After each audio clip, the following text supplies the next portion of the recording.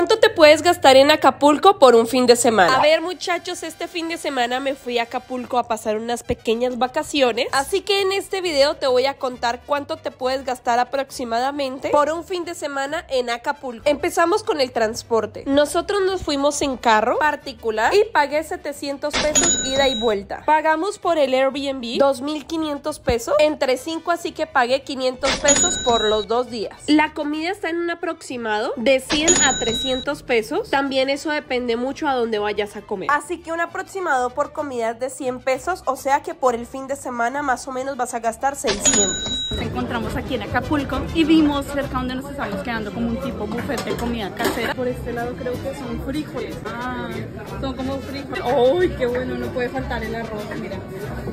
Esto es pollo con salsa de barbacoa, ¿no? ¿Cómo se llama esto?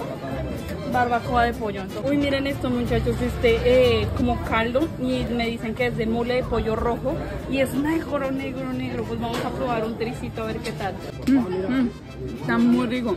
Y por último, muchachos, ¿cuánto cuesta? Lo mejor es el precio de esto por persona, como es un restaurante como tipo buffet típico de aquí a Acapulco. Bueno, tiene un precio de 95 pesos por persona, personas adultas, y 65 eh, pesos para los niños. Y esto está una ricura, todo está buenísimo, pero lo que más me encantó fue el mole.